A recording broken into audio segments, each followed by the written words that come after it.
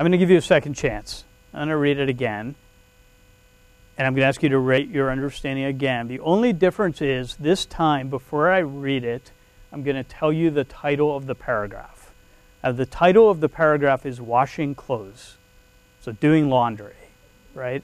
So, here's the paragraph. The procedure is actually quite simple. First, you arrange things into different groups. Of course, one pile may be sufficient depending on how much there is to do. If you have to go somewhere else due to lack of facilities, that is the next step. Otherwise, you are pretty well set. It is important not to overdo things. That is, it is better to do too few things at once than too many. In the short run, this may not seem important, but complications can easily arise. A mistake can be expensive as well. At first, the whole procedure will seem complicated. Soon, however, it will become just another fact of life. It is difficult to foresee any end to the necessity for this task in the immediate future. So rate yourself again A, B, C, D, or E. Okay, everybody's done that. So I have a question, and I'll only see the responses from the people in the audience. How many people raise your hand? You can raise your hand if you're watching on the webinar as well. I just won't know it. Um, but raise your hand if your level of understanding went up in the second reading. Okay, so in the in the audience here, everybody raised their hand. Now you might say, sure, you gave me a second chance. The more times I repeat something, the better I understand it. But I think there's something else going on here, and we could actually demonstrate that if we had a little more time. Um, the thing that, uh, so I'll just say everyone. The thing that is going on is that in that second reading, you had a context, or what a psychologist would say, you had a mental model for what I was talking about. And the way people learn and understand new information is by plugging it into some existing mental model. So whenever you hear something new, you're looking for some place in an existing framework where you can plug that information. And if you have a strong and, and an appropriate existing framework, it's very easy to understand the new information that's coming toward you. If you have no framework or an incorrect framework, it's very, very hard to understand the new information that's coming toward you. So, how many people ever have ever sort of thought that this has impacted your use of a product or a service? So, you're trying to use a product and maybe you're reading instructions is telling you to push some buttons or do some things, but you just don't understand the big picture of what's going on. It's a very typical design failure. And I can tell you whether you're a current student or an alum, it's actually also a very typical student failure because a lot of students sometimes, some, some students, I won't say a lot, come to class late, even two or three minutes late. And when a student comes to class late, if they have a good professor, what they've just meant, missed is that first two or three minutes when the instructor is giving the mental model and the context for what's going to happen in the rest of the class. So instructor walks in and says, yesterday we were talking about such and such, you read such and such before you came to class today. Today we're going to connect those things together and relate it to something that's happening in the news right now. And then two students walk in the door and sit down and they haven't heard any of that. Or maybe they're in the room, but they're just not sort of zoned in yet, right? And they've missed the context. And then what they have is just a string of facts coming at them, sort of like the first time I read the paragraph to you, they have no context to plug those facts into. So being to class on time uh, is, is really important. If you're an alum, it's too late for you, unfortunately. Uh, but for the students who are in the room, come to class on time. Okay, let's move on to some cultural examples. So uh, one, one real simple example has to do with when you're laying out a page, so a physical page in a print publication or a screen, an electronic screen. Understanding something about the culture and the language that of the people who are reading the content has an impact on how you lay out the page. So, for example, in English, people are going to scan the page from left to right and top to bottom. But that's not true in all cultures and all languages. So if there's something that you want to draw attention to, the place that you're going to put it on the page is going to vary based on the culture and the language. Another example, uh, so here I'm going to I'm to use an example that relates to Japanese culture. Um, so it has to do with the use of special symbols like check marks. So in the United States, a check mark is pretty universally understood to mean something good. So if you get a homework, teacher puts a lot of check marks on it, that means good, good, good, good. Um, in Japan, a teacher is much more likely to write an O to mean good. A check does not always mean good, and sometimes a check can actually mean not, not so good. So you're much like more likely to see these O's to indicate good in Japan. And that could influence a designer's choice of an icon. So here's an example from a train station. I cannot read this, but I had uh, somebody help me with it today. See these O's over here? They might look like zeros, but they're O's. These O's are indicating that there are seats available on these trains, lots of seats. So it would be sort of like having a check mark if that column says availability of seats. And I'm not sure what the column says. It would be like having a check mark. A triangle would mean there are some seats available, but not too many. And an X would mean there are no seats available. That's a cultural convention, right? It's going to differ uh, from culture to culture. Here's another, this is from my, my summer vacation. So I, get, I knew I'd have to have a way to show a summer vacation photo. I was in Japan this summer and I saw a can of spam for sale in Japan. And I looked at the can of spam and I looked at the, uh, the picture on the can, right, this, and I thought, huh, you would never see that in the United States. What is that a picture of? Can you even tell? So I could tell because I was in Japan and I knew what that would be. The bottom layer, the white layer, is rice. And then this, this sort of darker thing right here, this band is seaweed. It's a band of seaweed holding the spam and the rice together. And this would not be how you would advertise spam in the United States, right? You wouldn't show spam being served on a bed of rice wrapped in seaweed, but it makes perfect sense to show it this way in Japan. So it's another cultural example of a place where culture impacts design. Let's move a little closer to the areas that I uh, study. I'm going to talk about an, a mathematics example and then a computer science example. There's an area of mathematics called A-B testing. And I don't know how many people are aware of A-B testing, but you're all participants in A-B testing every day, whether you know it or not. So I'm going to let you in on the secret of how this works big companies like Amazon.com and Google use something called A B testing to improve their websites. And here's how it works. So when most people go to let's let's take amazon.com as, as an example. When most people navigate to amazon.com, what they see is the regular version of Amazon's website, right? The standard version that essentially everybody sees. But on any given day, there's a small random subset of people selected. And when they go to Amazon.com, they see a test version of the site. And they probably don't even realize it's a test version of the site because test version may mean something as simple as they've moved the, the placement and the size of the buy now button a couple of pixels one way or the other way. They've made some very, very small adjustment to the site. Um, not even really noticeable to most people. And then what they do is they watch and they see whether the people who are seeing the test version of the site buy more frequently than the people who are seeing the standard version of the site. And they have enough traffic on Amazon.com that they can actually do this and do a statistical test of significance. If more people who use the test version of the site buy the products, the test version of the site becomes the standard version of the site. They put a new test version of the site out, and they just keep incrementing like this. They just keep evolving the site to improve the design. And here, the notion of improving the design is getting more people to do what you want them to do, which is buy. Right at DePauw, it may be getting people to click on a on a certain story on the home page, or getting people to uh, finish an application that they've started lots of big sites that do this um, in order to improve their sites statistically. And you're all participants, whether you know it or not. So here's my computer science and engineering example, and I have some statistics here, so I'm gonna I'm gonna find the right page. This does anyone know what this is? Anyone who's at DePauw or at home? Can you see this?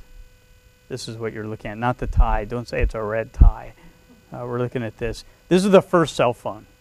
first mobile phone. This phone, uh, this was this picture was in 1984. It was the fall of 1984. I was a senior in college when this picture was taken. The weight of this phone was two pounds.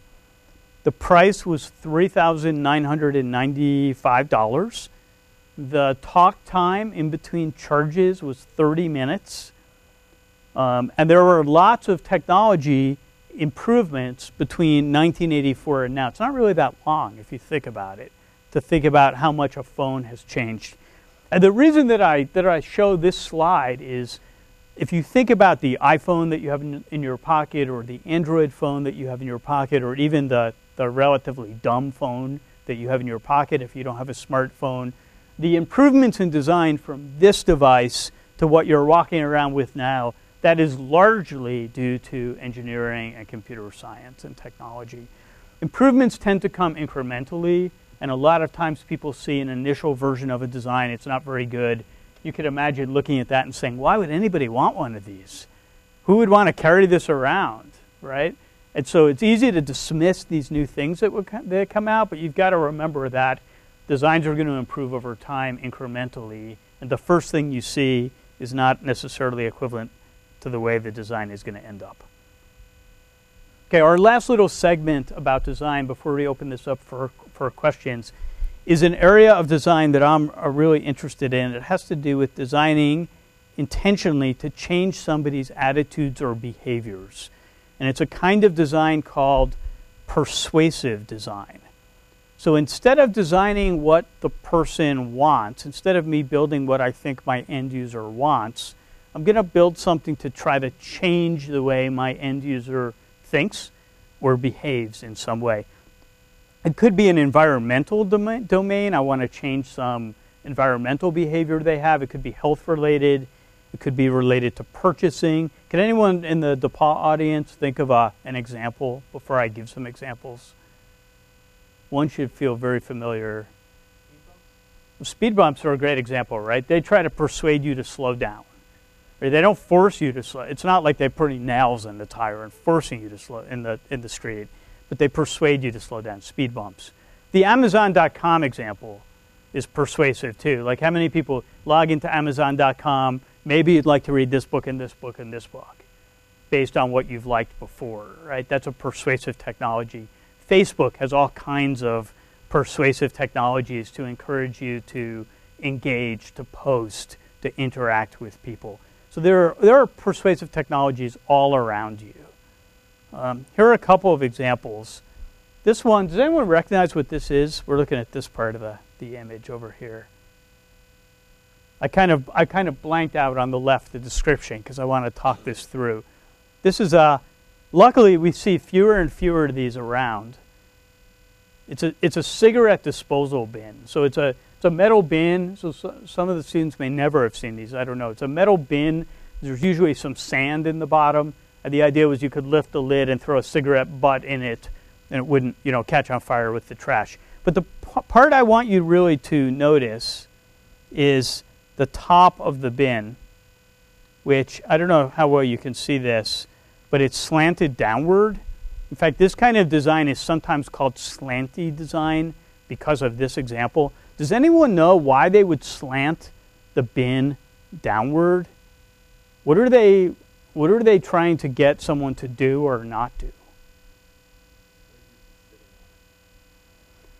It might be discouraging you from sitting on it. It's probably too light uh, to support most people and probably too high, but you're warm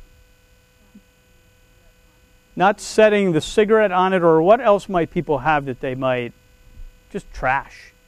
So, they, so people would set soda cans on it, they would set uh, Coke cans, they would set cups, they would set basically rubbish, trash on it. Um, there are all kinds of examples where ledges and sills, like window sills, are slanted just slightly to either discourage sitting or to discourage people from leaving trash there just a slight slant can really impact behavior. Here's a whoops. Here's another example. Uh, so look at these seats. And, and what I can tell you about this example, is this used to be a bench. And they took the bench out and replaced the bench with discrete seats. And they had a per, per, particular reason for doing this. This isn't a public transportation station. What behavior might they have been trying to encourage or discourage by changing the benches to individual seats? Say it again? Maybe. Uh, by keeping the people apart? Maybe. Sleeping is the, is the classic one, right? So if you have problems, this may or may not be a good solution, but this is the solution this group chose. If you have problems with people sleeping on the benches, one way to get around those problems is to change the benches into seats. That's an example of a slanty design. Okay, so we'll connect this a little bit uh, back to the first year seminar course that I teach. I, I told you that's where uh, I, I, I, was going to give you a sense of what that course was like. So during this course, students uh, read, they write, and they discuss these general design principles. And they also read and write about and discuss design failures. So they read a lot of stories about places where design went wrong. Often people end up dead in these stories. Some of them are sort of depressing. And then the students try to do an analysis of what the design failure was and make a recommendation for uh, mediating the failure in the future. And there are a lot of ethical issues related to these things as well. So even the even the uh, example I just gave, right, with the seats and the benches, you know, is it good to remove a place for people to sleep in a train station, or is that a bad thing to do? I mean, it's it's not so clear. Depends on your viewpoint and, and certainly who you are, right? Um, and then near the end of the course, students do a multi-stage research paper. Uh, so they really think about writing as a, as a design problem as well. You have an audience that you're writing for. You've got to think about designing what it is you want to say in the paper, how you're going to organize the paper, how you're going to visually present the paper as well. So for people who are watching online, all first year students at DePauw take a first year seminar course in their first semester. These are typically interdisciplinary courses. They're usually around 14 students. The faculty member in these courses is the student's academic advisor. There's an upper class mentor who helps with the student's acclimation to DePauw. The courses are very writing focused and speaking focused. And this first year seminar and mentor program has really become a, a hallmark of uh, the first year experience at DePauw in the last uh, decade or so. Okay, so our goals for today were to convince you that design is ubiquitous, so it's all around us, to convince you that poor design is very common, to give you a little sense of the kinds of issues that students study in the first year seminar course uh, that I teach, and then to demonstrate, I think most importantly, that the liberal arts really is very relevant to design because design is something that can be approached from multiple vantage points. And this comes back to my argument that liberal arts students really do specialize. They specialize in um, an excellent approach to solving problems that need the, uh, the, the lens of multiple disciplines in order to understand. That's really what our students are specialized in. So here's a book if anybody's interested in additional reading. This is one of the books I use in this seminar. It's called The Design of Everyday Things by Don Norman. Don Norman is both a psychologist and a computer scientist. Um, you can see this interestingly designed uh, tea kettle uh, on the front, which doesn't make a lot of sense because the handle and the spout are on the same side. The first time I taught this course in a first year seminar, uh, at the end of the semester, the students got me a gift. I had no idea what it was. They came with this big rack, wrapped box, and uh, I opened it up, and it was sort of like opening a gift from one of your children and finding out it was a homemade gift, and that made it even more special. But they actually made I, am showing this because I think some of the students from this class, I believe it was in fall of 99, are watching online. And so they actually made, they found one of these mugs and they, they cut off the handle from this side and sort of welded it or melted it back onto the other side and gave me one of these. And uh, I can tell them that I drink from it not, not so often. Um, but I enjoy keeping it on my shelf. Um, so I think with that, I'm going to open things up for questions. I think there's a way for people who are online to type questions in, and somebody here will read them out to me. And uh, I welcome questions from folks who are in the audience as well. Definitely appreciate everybody's participation today and uh, interested to hear what questions or reactions uh, people have.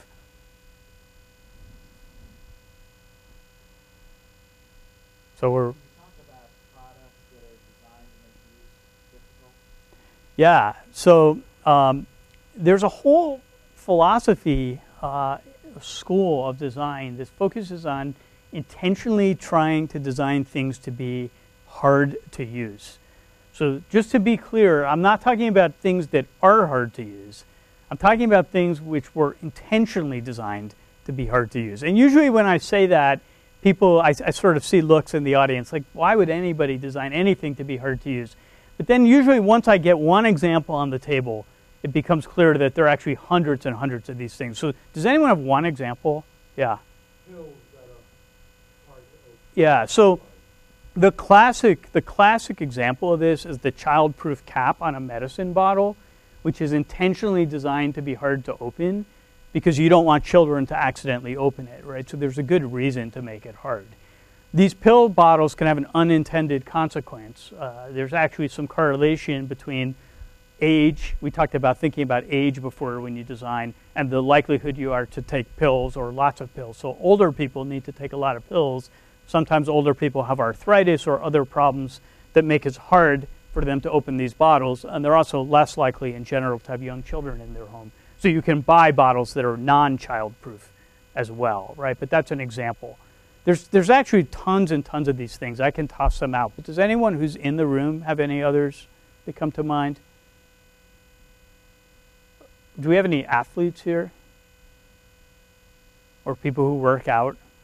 I know we do. Golf, golf, golf right? So, you know, how could you imagine designing a game any harder than golf, right? Like, why does the cup have to be so small? Why does the ball have to be so small?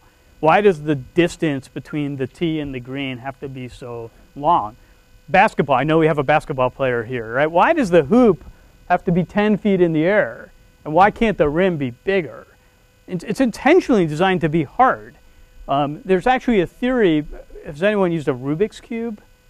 Right? Hard, hard to use, right? Hard to use. So there's a whole theory to game design called the on-ramp experience, where you want to get that on-ramp, the initial experience, to be just hard enough to be challenging and to kind of lure somebody in, but not so hard that it's completely frustrating and they walk away in disgust without ever really trying.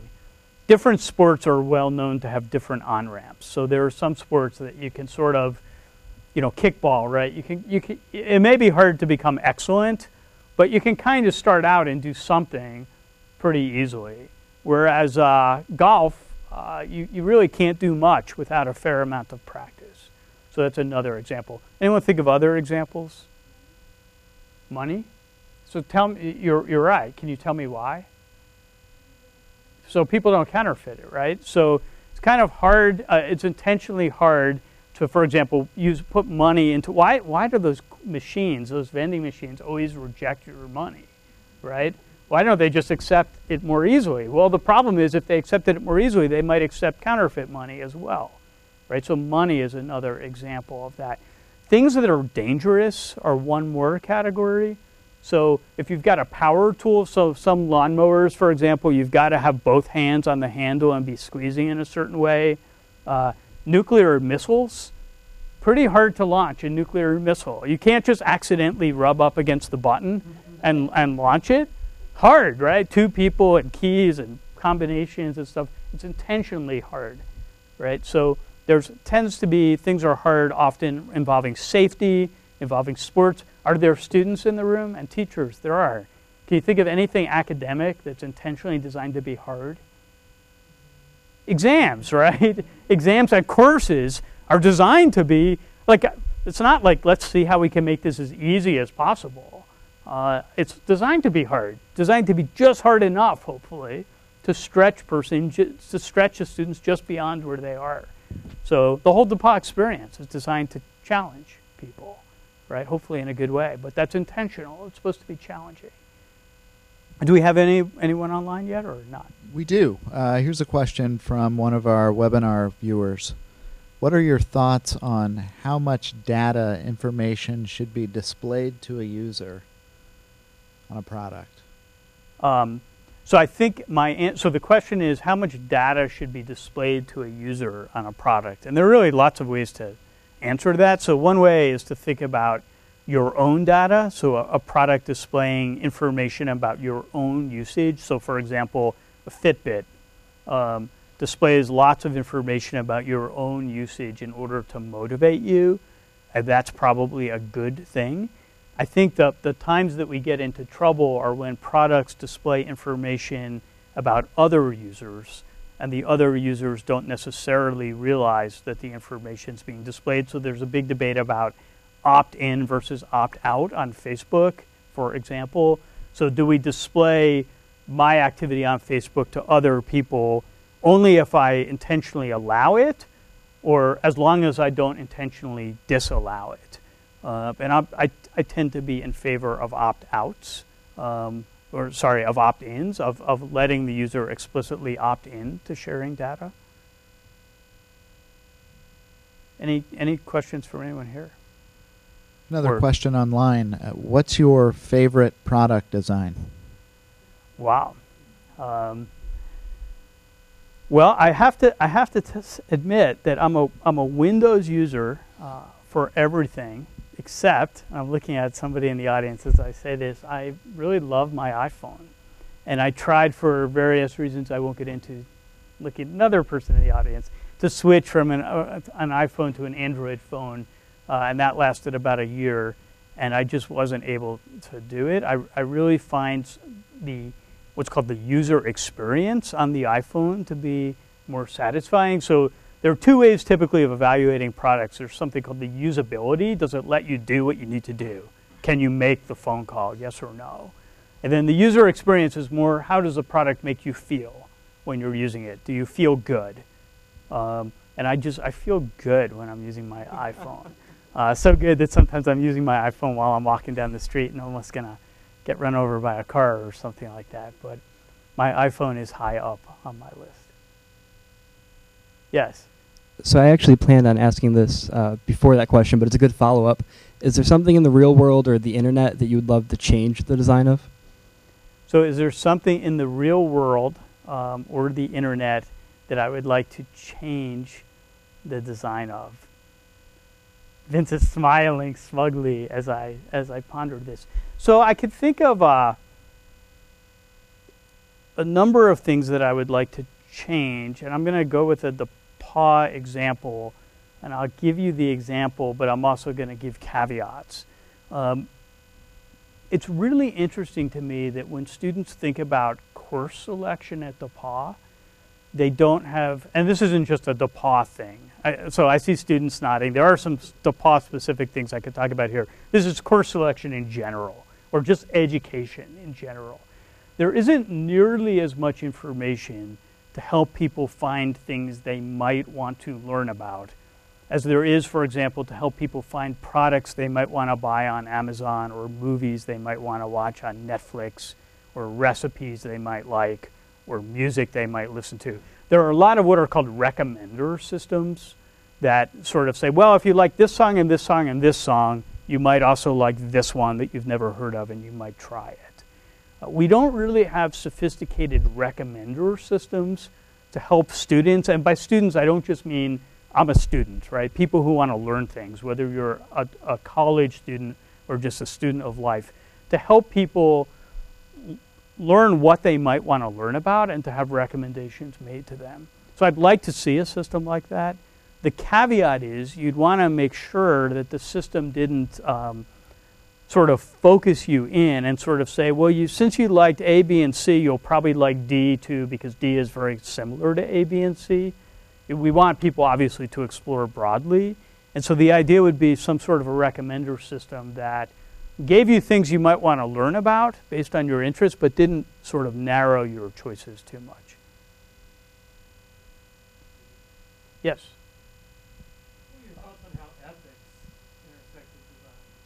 Okay, so yeah, I'll repeat the question. Thoughts are what? What are my thoughts on how ethics interfaces with design? It, every single design decision, almost every single design decision, is an ethical decision. Um, there are uh, so many examples of this from campus. Uh, I'll, I'll, give you a simple one: um, whether to set the default printers to be uh, one-sided or two-sided. So whether we're going to have paper when, when students and faculty print things to our public printers, whether we're going to use one side of the sheet or two sides of the sheet. That could be seen as simply a financial decision, but that really can be seen as an ethical decision as well. And it becomes even more complicated than you would imagine. So it's not just the environmental issue, but there's an issue that all students get a certain number of pages that they can print for free. Um, some students can afford more easily than other students to add pages if they run out. So there's sort of socioeconomic aspects of that issue as well. Um, again, I'd, I'd, be hard pressed to come up with an example of a design question that isn't ethical. It's another reason why it's great to study design in an environment like a liberal arts college, especially one with an ethics institute. So.